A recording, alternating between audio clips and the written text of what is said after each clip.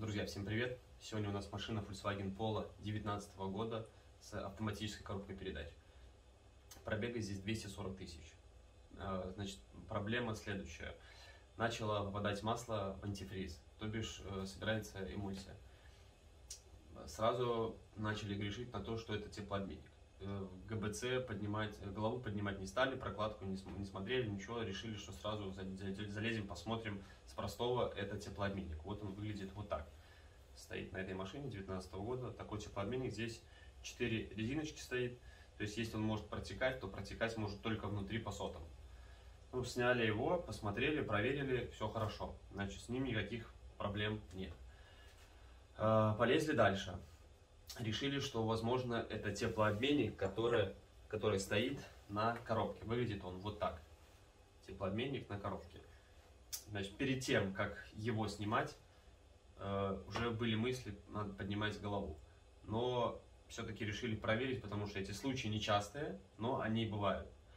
Значит, сняли мы поддон, и по итогу, поддон э, КПП, и по итогу оказалось, что Проблема-то оказывается в коробке, то есть масло начало попадать в антифриз, коробочное масло начало попадать в антифриз. То бишь э, масло начало попадать через теплообменник, теплообменник э, в антифриз.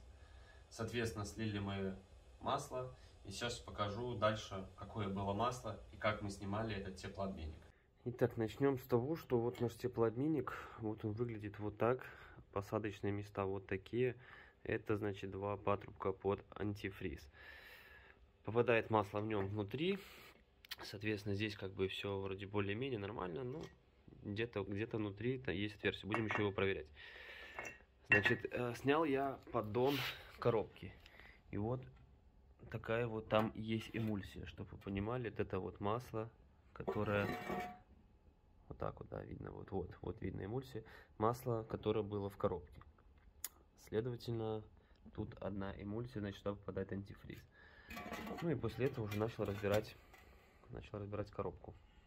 Не коробку, точнее, а начал разбирать под машиной, все патрубки снимать, чтобы добраться до этого теплообменника. Значит, еще с чего мы начинали вообще? Для начала надо было все патрубки, почти, да, не почти, а все патрубки снять. Значит, почти, да, почти. Все вот эти два патрубка можно не трогать больших а вот эти большие патрубки можно не трогать. Все остальное пришлось снять. То есть стоит он а, вот там. Сейчас возьму фонарик. Сто, стоит он вот на этой площадочке. Вот здесь сейчас вот одна эмульсия. Вот именно там, да. Вот, э, и поэтому, как бы, для того, чтобы до него добраться, нужно открутить, во-первых, 4 болта. 4 болта, ну, болты, как бы, показывать не буду, там, в принципе, все понятно. Теплообменники уже видны. И вот, э, пришлось с помпы снять все шланги, чтобы до него добраться. То бишь, как, как начиналось. Тут у меня уже как бы понятно, что все разобрано, половина машины. Но эта сторона, она вообще была не разобрана. То есть пришлось снять э, все патрубки вот эти, отсоединить два патрубка от теплообменника. И, соответственно, он просто снимается, потому что он просто там стоит.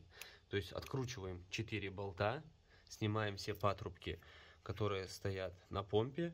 И он просто легко достается. Тут еще плюс к этому всему газовое оборудование стоит, поэтому очень неудобно. Но как бы добраться до него можно, и никаких э, нюансов особых нет.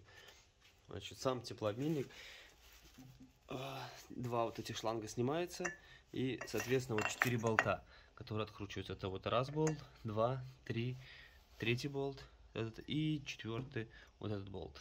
То есть, как бы, открутили его, и он просто поднимается вверх, и потом уже достаем. Вот, так что ничего, в принципе, сложного нету. Будем промывать коробку, будем промывать масло, посмотрим, поможет ли. Заменим два раза фильтр, соответственно, заменим прокладку, промоем коробку, почистим все, поменяем теплообменник и, возможно, коробка еще будет живая, потому что не так много времени прошло с того момента, как, э, соответственно, не то, что даже много времени прошло, не проехала машина даже 30-40 километров. Вот такое вот масло, конечно, очень ужасное. Очень ужасное. Тут как бы плохо видно, но тут понятно, что одна эмульсия, одна сбитая, сбитое масло просто. Вот поэтому все будем промывать, чистить. Я надеюсь, что все будет окей, машина поедет, никаких проблем не будет. Всем удачи и пока.